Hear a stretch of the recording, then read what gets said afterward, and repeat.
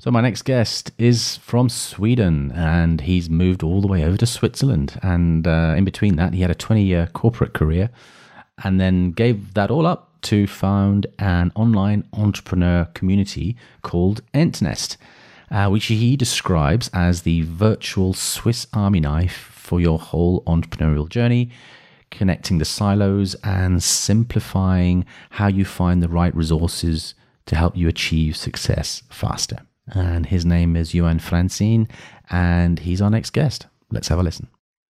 This is the Expat Business Hero podcast, and I'm your host, Alex Congdon.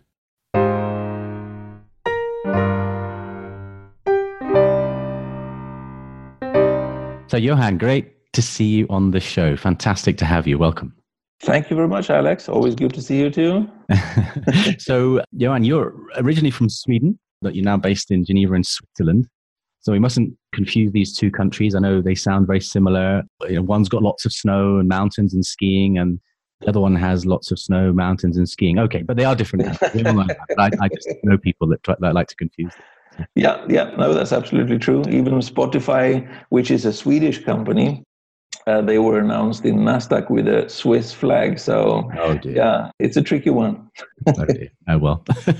yeah. Listen, yeah. Before we talk about your past, I just want to refer a little bit about you know about your what's on your website, entnest.com. You've got this strap line there which says "Create your future with trusted people and tools." I hope I got that the right way around. So, yeah.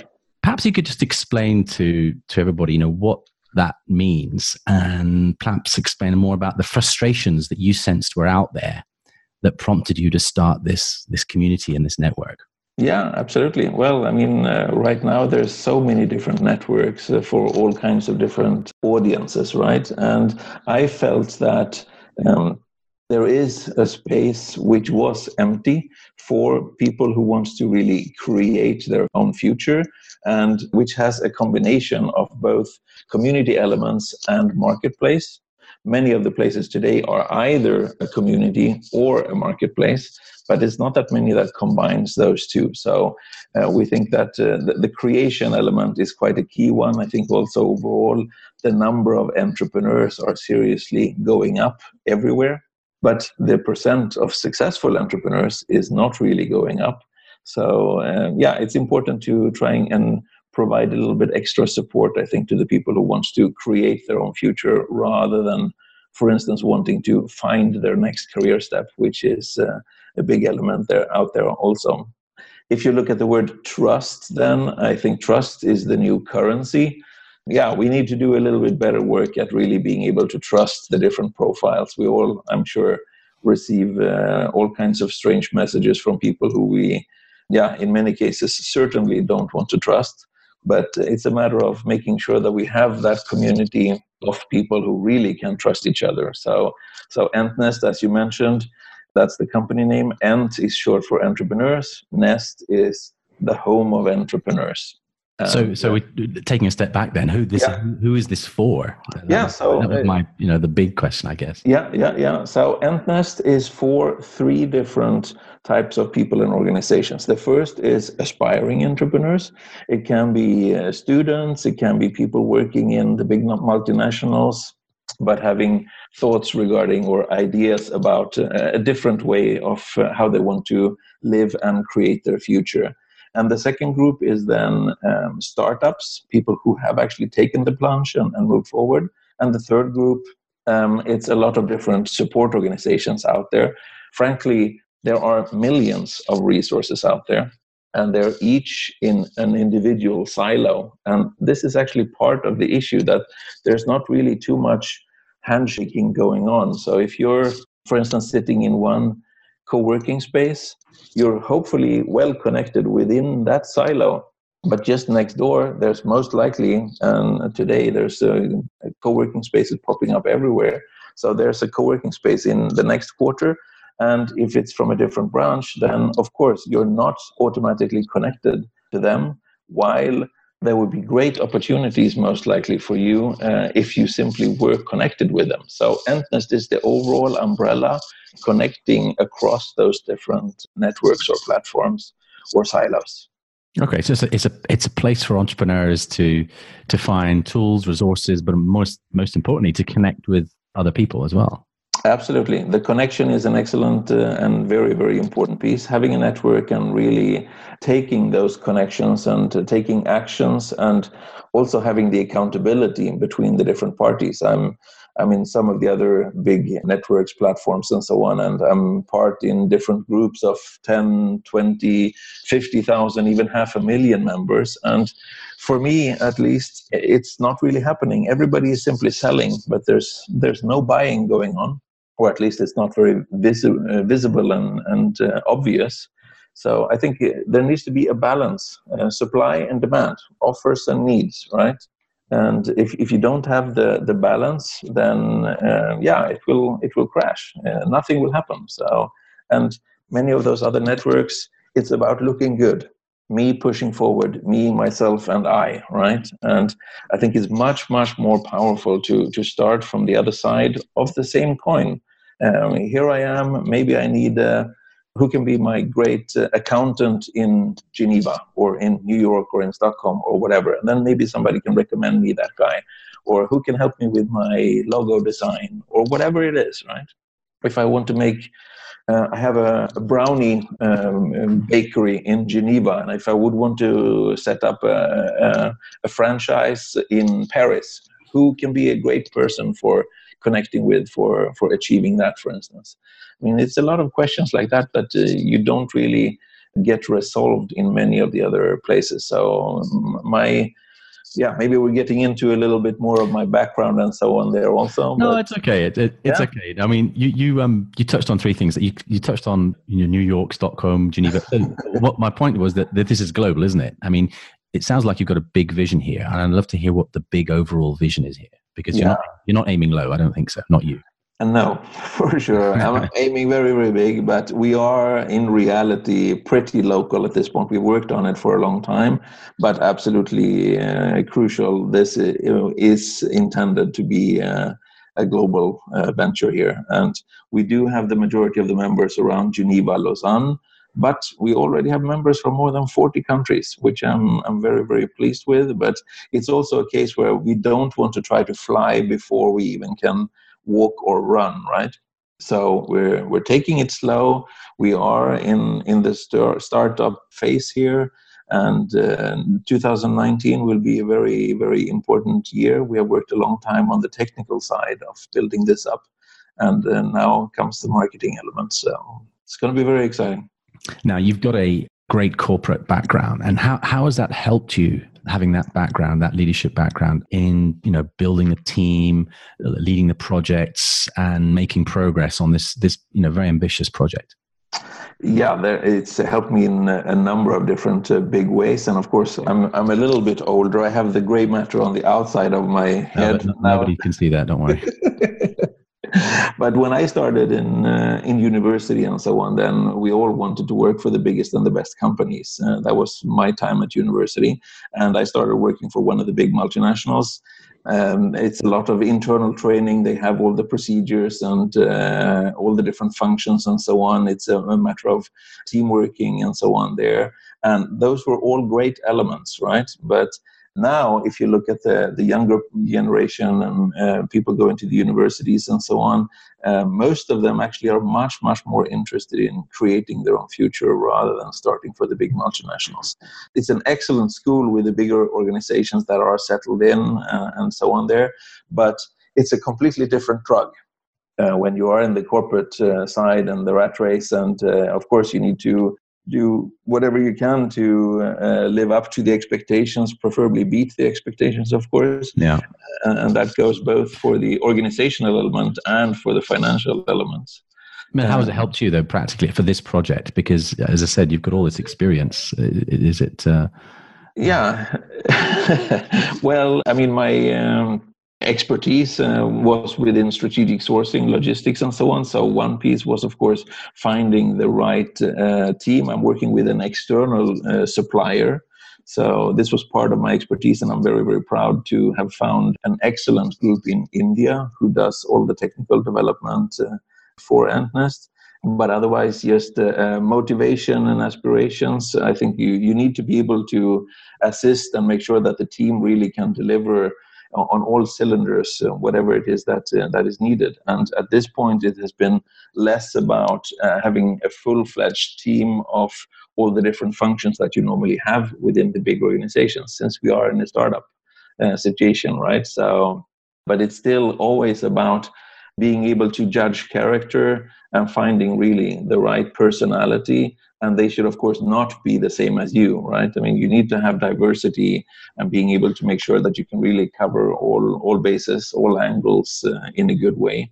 And don't think that you can be an expert on everything yourself. You really have to rely on people from different sides and with different uh, experiences and so on. So i think that's that's a really big uh, element. And uh, in the company that I was working for, we had, uh, I think, a lot of very good diversity. And I appreciated, uh, I mean, I stayed with them for 20 years, even though I knew after 10 that I probably want to leave at one point in time. But uh, 20 years is a, is a long time you can say an employer. you can say who it was, don't worry. There, I think we have many uh, listeners from that organization here. It was, yeah, no, uh, it was Procter & Gamble. And I mean, it's, it was, I think it still is quite a, an excellent company. But of course, uh, it has its challenges, and in today's world, it's a challenge. And I think also, if you look at the fact that all the companies are looking at the bottom line, right, and uh, people feel more and more nowadays that there needs to be a higher purpose for the company on top of just the shareholder value, right? So and that was also part of uh, why I felt ownership and passion and so on for all the things that I was involved in there. But still, it is a different situation compared to uh, trying to do something off your your own. And it was part of the beauty of what i what i wanted to try and achieve. Yeah and i think with this project now with entnest i mean it's a purpose driven project very much so very much so. and i think today people who are joining the workforce starting businesses they're a lot more in tune with purpose driven organizations. So i think absolutely. Uh, yeah. yeah imagine if one of the other big, and I don't want to name too many organizations and so on here, but just think about all the other social networks and different marketplaces and so on. Who earns the most money from you being active in there? I think it's it's the network itself, right? So within Entnest, one of the first big pillars of purpose is we commit to give at least 51% of our future profit back to the eligible Entnesters.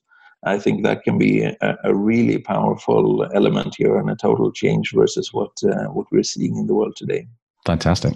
Yeah, and of course, based on that and what we already mentioned in terms of trusts and so on, there, trust is a big element. Um, a big thing within Entnest is that we are and will forever be based on invitation or recommendation only. So, in order for you to get inside, uh, you will have to have a recommendation or an invitation there and you can always see who invited who so you can follow the trail between the different people and, and see who has invited who and i think that's it's very powerful Fantastic. Well, we'll talk yeah. more about that at the end, but uh, yeah. Good, yeah. good to know. So, tell us about the journey here. Then, you, you know, we mentioned before that you're from Sweden and you, are in Switzerland now. So, how did you end up in Switzerland? What was the yeah, so I did university in Sweden, and uh, after university, I started working for Procter and Gamble up in Sweden.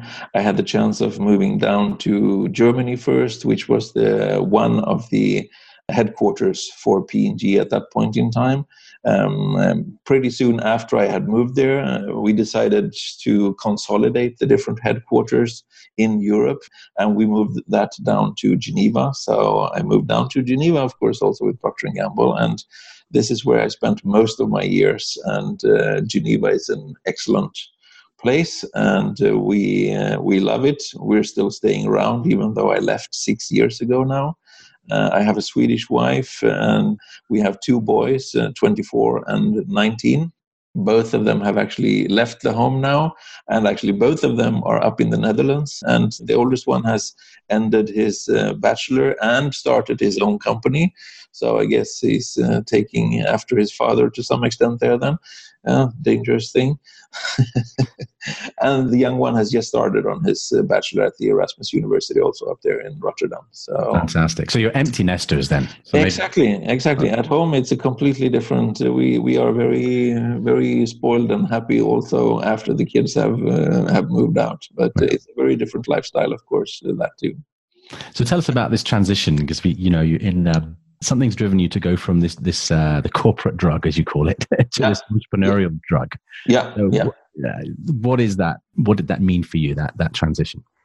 Uh, well, uh, what it meant was really relearning a lot of different things, and uh, really uh, a different drug has different uh, implications, I guess. I mean, when you are in a big company, of course, the fact that you have all kinds of different functions and big teams and so on around you, you are doing your piece. You're one one element in a big machine, right? and that was really the biggest and uh, the hardest learning i would say at the beginning then where you're jumping into the cold water and uh, you better learn to swim very fast and yeah it's it's a challenge and i think also it's uh, it's tricky because it's so overwhelming there are millions of resources and uh, it's all trying to assist you, but uh, it's very hard to take it in and know what is good. And uh, uh, if I need something like this, then should I go this way or should I go that way? So it was a, a lot of relearning, I would say. I was going to ask you that now. In fact, yeah. what, what were the, the, personally for you the biggest struggles as you were setting up the business? Uh, I would say, um, yeah. I mean, in the business for the, the big corporate, most of the things were outlined, right? Of course, we were working on the strategies and on the details and so on, but it was still to a large extent after we had gone quite far. Procter & Gamble is, uh, yeah, more than 150 years old. And yes, we develop new brands and all kinds of different things.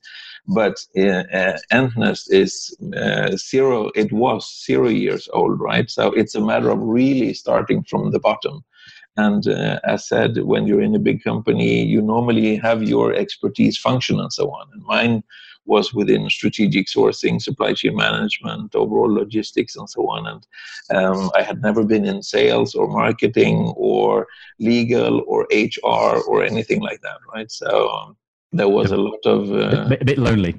yeah, yeah, a bit a, a bit lonely. But I think also you have to be open and realistic that you can never be an expert by yourself on everything, right? So this is one of the key recommendations I would say for people who think that maybe they uh, they have a, a, great idea, but they're they're too concerned about sharing it uh, with different people and fear of others sort of ripping their idea and so on. But I think it's um, what I'm saying normally is the idea is basically worthless until you can really prove that you can implement uh, and, and, move forward on it. And that's when it starts to become interesting. So at the beginning, I would definitely recommend almost sharing with as many as you can. And you, even uh, no matter how much you, you share about it there, it's still in your head and you won't be able to put all your ideas around it in one piece. So I think there's very, very little risk that you will feel ripped off. And uh, if you can rather get a team of different people, different functions who can assist, you have a much, much better chance of, of succeeding. And of course, once you want to go for funding and everything, it's it's much stronger to to show that you have a team rather than that here's a, an individual uh, crazy entrepreneur right you need to be able to show that you can work together yeah. yeah. I mean, so so building a team obviously was a was a was a huge thing as you as you yep. were going through, and this yep. idea of validating the idea. I mean, was that was that difficult as well at the beginning? Because obviously you had this idea in your head, but you had to go out and prove that, that it had legs. Yeah, yeah, no, that's absolutely true. But I would even take one step further back first, because when uh, after ten years that I started thinking that yeah, I do want to uh, move to something new, I started already planning, and uh, my thinking was creating a consultancy firm within my area of expertise. Um, so that's what I moved forward on. I did all the work and so on for that. But in the process of doing that, I talked with so many other aspiring entrepreneurs, established entrepreneurs, and support organizations. And we all said the same thing it's way too difficult. So there needs to be a better way of uh, an easier way for entrepreneurs to become uh, successful or having a better shot at becoming successful. So yeah, I had basically validated the idea of the consulting, but instead of knocking on the door for the registre de commerce and so on for that, I decided, hey, this is this is too good of an opportunity to miss. So I put that on the shelf. It's still on the shelf. And I moved forward with this Entnest idea because of uh, all the issues that I saw out there. So the validation was almost part of the the absolute initial idea creation there right? The, the fact that yeah it's uh, there are all these different silos and so on and we need to make it uh, an umbrella element in there and connecting across all of those different things. But i worked with a lot of different people uh, a number of different mentors at different stages people who had excellent experiences from each of the different elements in there. And uh, because as, as we said you can't be an expert on everything. So uh, talk to the people who are interested and uh, utilize uh, the expertise of people who have had the, the right experience right? You you wouldn't talk uh, hairstyle with your accountant right? So it's uh, Exactly. I mean, I was going to ask you that question about the support you got. So, you, you know, you mentioned mentors or experts that you've worked with, which is fantastic. And, yeah. you know, I think a lot of people don't realize that when you're setting up a new business, becoming an entrepreneur, yeah. Um, it's a new career and yeah. you need to reach out and tap into the expertise of people who've been there before. Um, yeah. Because, you know, just to save you time and money, I think. Absolutely. Absolutely. Yeah. So, yeah, you can't be an expert on, on everything I said. And uh, it's not only while you're in school that, uh, that is good to have teachers, right? I mean, even Roger Federer, I'm sure, has a, a guy for improving his backhand, right? Or, or whatever it is. I think uh, uh, teachers, uh, mentors, uh, coaches, whatever you call them, right? I mean, even the biggest business gurus, I'm, I'm quite sure that they have people that they want to use for uh, discussions and so on there. And I think it's it's always much more powerful. You can be good, maybe even great by yourself, but you can definitely not be excellent. You have yeah. to have people around you. So it's the key piece. My children keep asking me, you know, so when are we going to start learning at school and i said and i tell them well listen i'm still learning i'm, I'm still learning and I, am not, I'm not so sure if that's an encouraging thing to tell them because they go oh my god is it yeah is it gonna, never going to stop and i said yeah exactly LLL, so lifelong learning, right? So it's not only the www for World Wide Web, but uh, lifelong learning for sure is uh, is really crucial. And I think it's more about that whole journey, the, the building mm. the experience as you move forward, and of course you pick up and hopefully maybe you can drop a few things and so on also but uh, mm-hmm. it's a it's a long and winding road and it's i would say also within uh, the, the corporate and other elements it's it's a roller coaster ride there too but i think the roller coaster is much smoother within the big companies and uh, when you are an entrepreneur uh, you will have very high peaks and very low valleys on that journey i can tell you. And yeah so it's important. And it's of course uh, very important also to have supporting people around you i mean i would never have been able to do this uh, unless my wife would let me basically right and really be supportive and so on there. So Fantastic. I appreciate that. Uh, well, really. let's acknowledge, let's acknowledge her here and say thank you to her. Yes, thank you so much. Yes.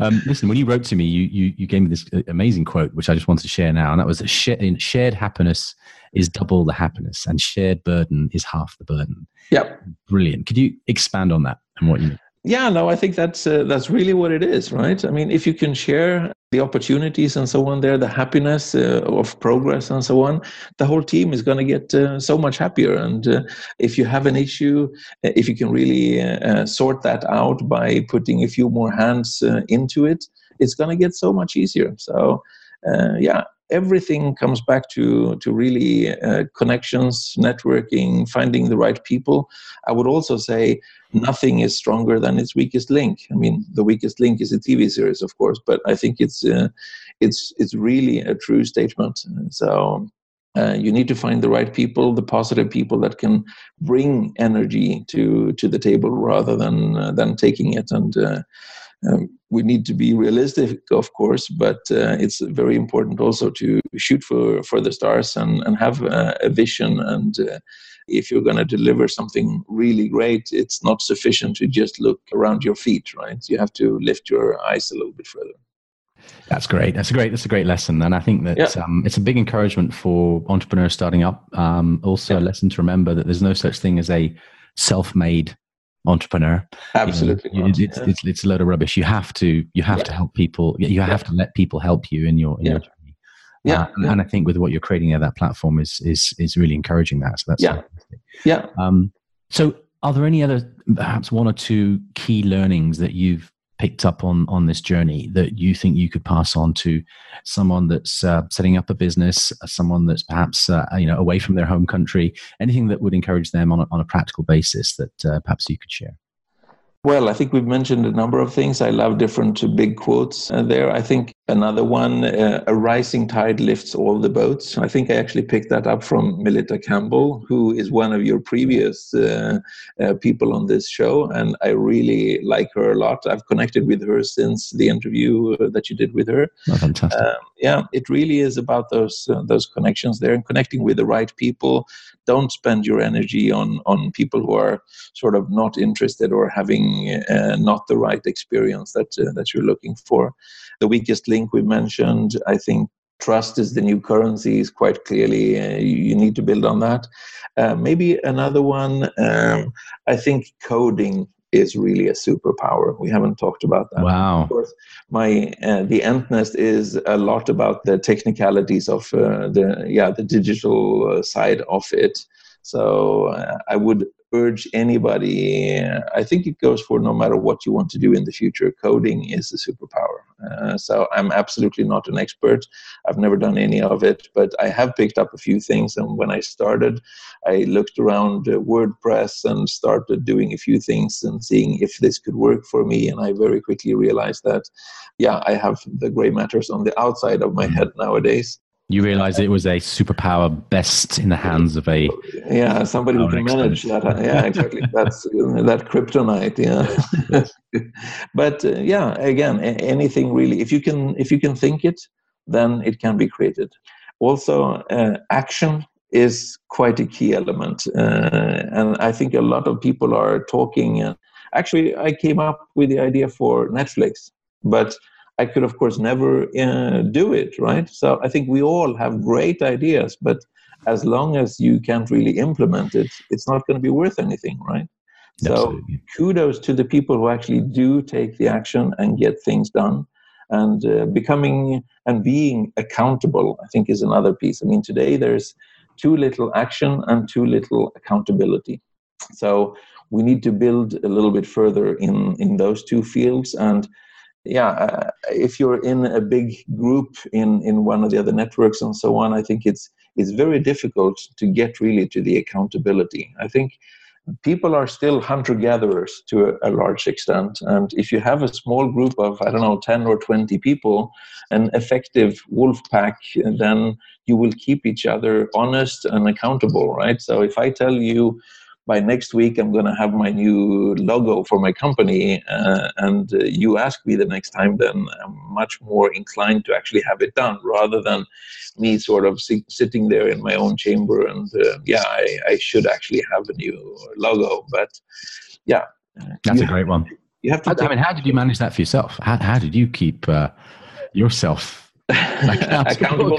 well, it comes back to the team again and making sure that you have a roadmap, a plan of what you want to achieve by when, and it's not about uh, notoriously keeping to to everything. And just because you said, I mean, things change also, right? You need to be adaptable and agile to to do different things there, but still, at least having something that points in the direction where you're going and of course, I, I, think also it depends on what kind of company you're trying to start. If it is another restaurant or uh, something completely new and novel or, or whatever. I mean, the question is also do you need a map or do you need a compass? So I think you need to consider different uh, things like that. Also, we, we we know that we're going in this particular direction, but uh, yeah, there can be lots of valleys and mountains in between, as I said, and many times that that you feel that yeah i've reached the top of this mountain here now but it's only from the top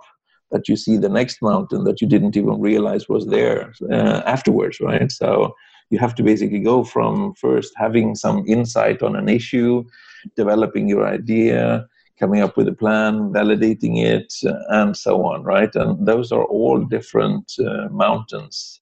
So I refer to me basically as the entrepreneurship mountain guide, right? And that's uh, that's what I think uh, we're like trying a, to do. Like a Sherpa.